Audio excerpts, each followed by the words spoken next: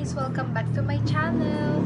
So, our topic for today is about sa pag-review ng Navarro Bleaching Soap after ko siya ginamit ng 7 days. So, yun. Yun ang topic natin ngayon. And sisimulan ko sa mahapde. Kung nagtatanong kayo if mahapdi siya pag ginagamit. Wala. Wala. Ako wala akong, sa akin lang ah, ewan ko sa iba. Sa akin, wala akong naramdaman na hapdi feeling, ganon. Wala. Kahit nakababad siya.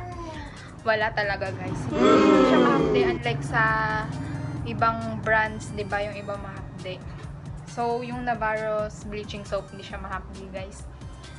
So, second, sa kung makati siya yung pangangate may may times talaga pero pag malili pag kunyari for example naliligo ka tapos nagbabad ka tapos binabad mo siya 'di ba for 5 minutes hindi siya ganun ka kate. Hindi siya hindi mo mararamdaman yung kate pag naliligo ka. Mafe-feel mo siya pag after mo maligo tapos yung okay na yung chill ka lang ganun tapos ka na tapos maya maya parang mafe-feel mo parang ano makate ganun pero wag nyo kakamutin guys kasi baka magsugat ako pag may times na nangangate hindi ko hindi ko siya kinakamot talaga. Pinipigilan ko kahit may times na parang ang kate. Pero hindi naman siya totally yung talagang sobrang kate na hindi mo na ma-PPS. Ganun.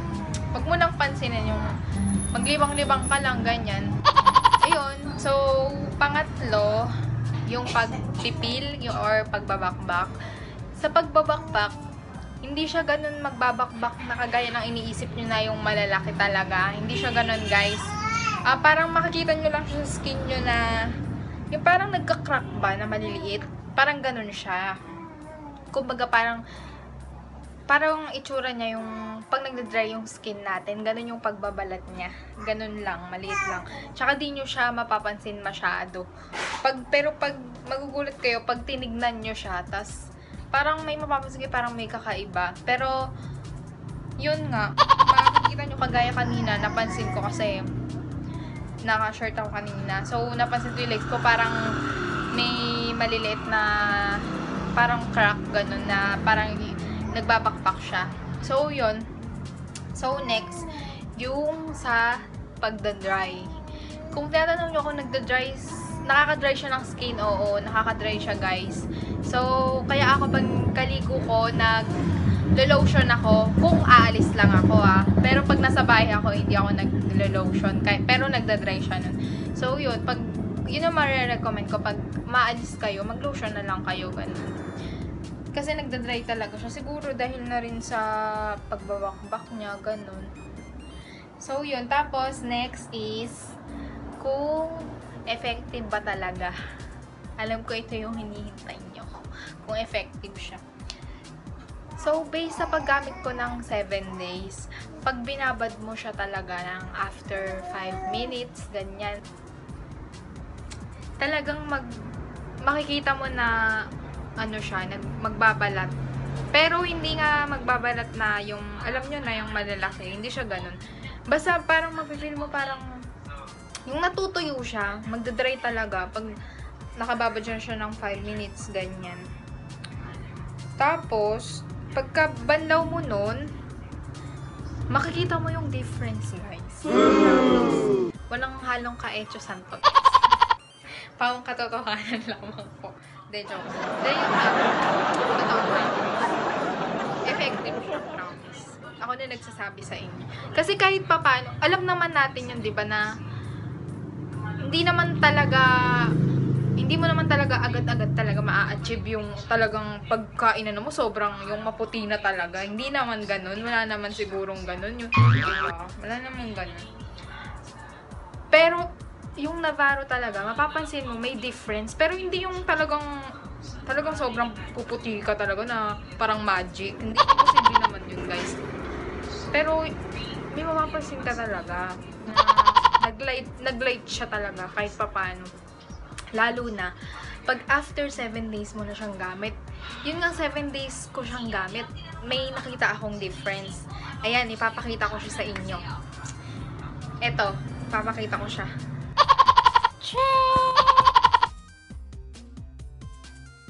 Ayan, nakita nyo ba, guys? Ba? May difference. Hindi lang naman ako yung nakapansin sigurado, ba? Nakita nyo din. So, ayun. Effective nga talaga siya. Wala akong masabi. Effective siya kayo, guys. And, about sa, kung tinatanong na kung pwede siyang gamitin sa underarm or singit-singit, pwede siya guys. Buong katawan pwede siya kasi maglalay talaga. Kasi yung may mga part na parang dark spot sa akin, yun yung mas nangangat eh. Ganun yung guys. So yun, nire-recommend ko talaga tong soap na to kasi effective siya. So, kahit kagaya na nga ng sabi ko dun sa ah vlog ko about sa soap na eh, ano talaga siya, worth it talaga guys. Kahit sabihin nating pricey siya, worth it naman. Kasi naman di ba bumili tayo ng mura tapos wala din naman paulit-ulit pa iba-iba tayo ng ginagamit na soap kasi nga hindi naman effective. So, syempre mas pipiliin na natin yung mahal pero worth it, ba? So, yun, pero disclaimer lang ha, baka kasi mamaya gumamit kayo tapos hindi naman umafect sa inyo. Kasi iba-iba nga tayo ng skin talaga. May merong hiyang sa akin na hindi hiyang sa inyo. Merong hiyang sa inyo na hindi hiyang sa akin. So, yun, ano lang, um, tsaga-tsaga lang din sa ano. Kasi hindi naman natin agad-agad talaga makukuha yung gusto natin. Kailangan pinaghihirapan natin sila, guys. So, yun. Um, yun lang. Hanggang dito lang ta hanggang dito na lang tayo. And, um, sana abangan nyo yung next ko pang vlog. Um, may nagre-request kasi ng dance cover ko daw. Um, about dun sa sayo na Switch It Down. Yun. Sana abangan nyo siya guys. Ah, gagawa ko ng dance cover nun. Dahil like, may nagre-request na isa sa mga viewers ko. Nakita ko lang siya sa comment section. So, yun. Gagawin ko siya. Pinapractice ko pa siya ngayon. So, ayun. And, ayun nga pala, bago ko baka makalimutan ko pa, shout out kay MC Alijibe. Hi! And kay, anong pangalan nun? Veronica Heradura. Hi, sis! Hello! Ayan, na-shoutout ko na kayo. So, ayun. Thanks for watching, guys! Sana, huwag kayong magsawang manood sa channel ko and please don't forget to click the subscribe button down below and also the bell button for you to see my next video. So, enjoy your day, guys! God bless us all. Thanks for watching. Bye!